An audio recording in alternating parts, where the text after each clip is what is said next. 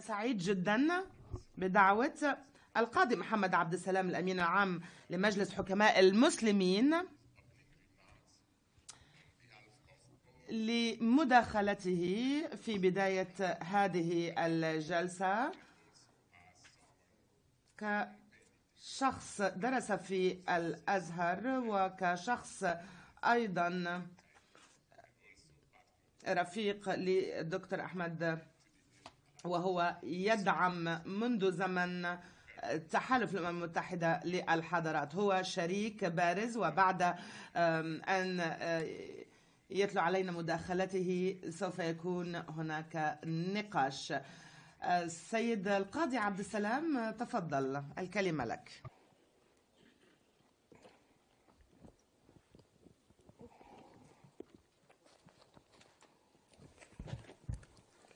السلام عليكم ورحمة الله.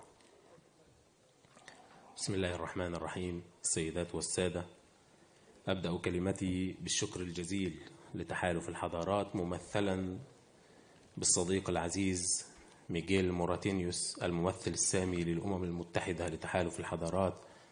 على دعوته الكريمة للمشاركة في هذه الدورة التاسعة للمنتدى العالمي لتحالف الحضارات.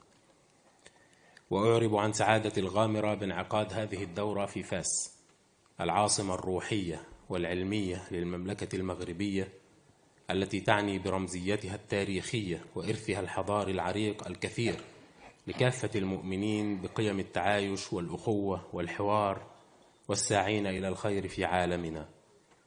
واسمحوا لي أن أذكر بواحدة من تلك الدلالات الخاصة بهذه المدينة التي تضم جامعة من أعرق مؤسسات التعليم العالي في العالم.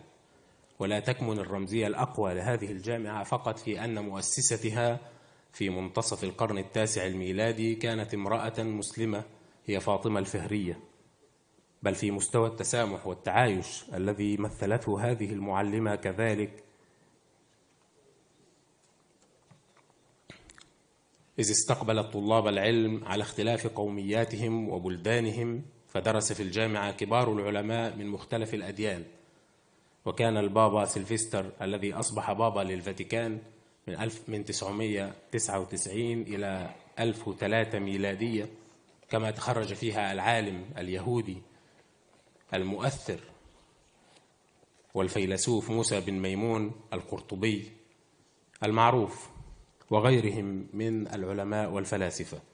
هذا النموذج الحضاري الذي يمثله هذا المجال مجسدا مجسدا في العديد من المؤسسات العلمية بالمملكة المغربية هو تعبير حي لما يمكن أن يكون للدين من تأثير إيجابي وما تمثله قيمه السامية من دوافع يمكنها أن تحدث أبلغ الأثر في إدراك المجتمعات لمعنى الحضارة الإنسانية الواحدة التي تسهم فيها المجتمعات المختلفة بتنوع ثقافاتها وتمثل تلك القيم في الممارسات وتمثل تلك القيم في الممارسات الثقافية والمجتمعية. ومنطلق ذلك كله هو التركيز على معنى الكرامة الإنسانية. هذا المعنى الذي نسعى إليه جميعا وتسعى إليه أيضا مؤسسة تحالف الحضارات من خلال العديد من الجهود التي تقوم بها. هذا المعنى المعمق في التكريم الإلهي للإنسان. بغض النظر عن أصله وعرقه ولغته ودينه. الحقيقة أن كافة القيم الأخلاقية والأسس الثقافية والتقاليد المجتمعية التي تنبذ العنصرية وما تنتجه من خطابات الكراهية عموما وكراهية الأجانب بشكل خاص تتغذى على مصدرين أساسيين. هما خطاب الهوية المتطرف ومشكلة العدالة الاجتماعية. وأرى من الأهمية بمكان إيجاد نوع من الاتفاق حول أهمية هذين المصدرين في التعامل مع أي خطابات عنصرية أو معادية للآخر المختلف ثقافيا أو عرقيا أو دينيا أو لغويا. فبالنسبة للقضية الأولى نحتاج اليوم بشكل ملح إلى الدين. فالأديان هي التي تواجه هذا. والأديان هي التي تؤكد على أن الحدود الحقيقية الحدود الحقيقية للهوية لا تتجلى إلا بالتواصل الإيجابي والحوار مع غيرها من الحضارات والثقافات. ولعل بعض فلاسفة المسلمين عبروا تعبيرا بليغا عن هذه الحالة التواصلية وأهميتها في بناء الكرامة الإنسانية وبناء الاستقرار المجتمعي وبناء الهوية أيضا حين اعتبروا أن الهوية فرع عن الأصل الذي هو الغيرية.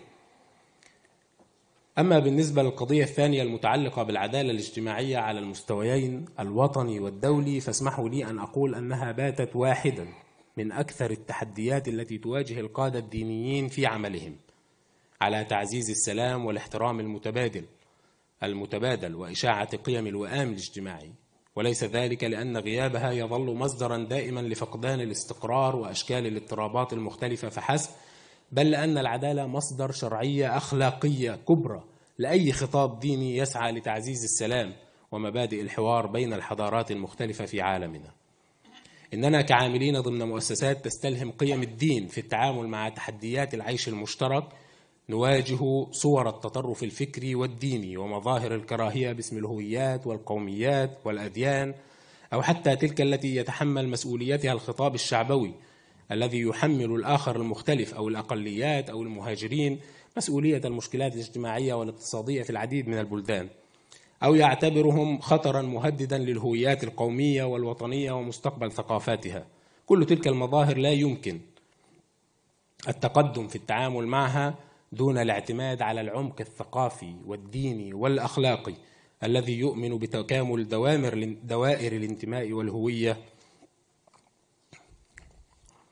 دون تقاطع وقدسية العدالة في تدبير العلاقات الإنسانية والاجتماعية على كل المستويات مع الإيمان بقوة تأثير تلك العوامل الروحية في حياة الناس. واسمحوا لي أن أشارككم بكل اعتزاز ما أعتبره واحدة من أهم ثمار هذا الحوار الديني في عصرنا الحديث وهو توقيع تلك الوثيقة التاريخية الأبرز بين الإسلام والمسيحية وهي وثيقة الأخوة الإنسانية في الرابع من فبراير 2019 في أبو ظبي. هذا النص الذي وقعه الرمزان الدينيان العالم العالميان فضيلة الإمام الأكبر الشيخ الدكتور أحمد الطيب مع أخيه البابا فرانسيس بابا الكنيسة الكاثوليكية بمشاركة وحضور ممثلي أديان العالم مثلت نداء لكافة أفراد العائلة الإنسانية من أجل تعزيز السلام والاحترام المتبادل والوئام الاجتماعي القائم على احترام كافة الفئات وصيانة حقوقها بما فيها تلك الأضعف أي الأولى بالدعم والمساندة. وهنا لابد أن أنوه بما قدمته مؤسسة تحالف الحضارات من دعم كبير لهذه الوثيقة من اللحظة الأولى التي ولدت فيها وأعلنت للعالم. وإنني من هذا المنبر لأدعو إلى البناء على هذه المبادرة التي اتخذتها الأمم المتحدة باعتبار يوم توقيع الوثيقة يوما دوليا للأخوة الإنسانية بأخذ مضامينها في صياغة التشريعات والمواثيق الدولية الخاصة بالعلاقات بين الحضارات وتعزيز القيم الأخلاقية والروحية.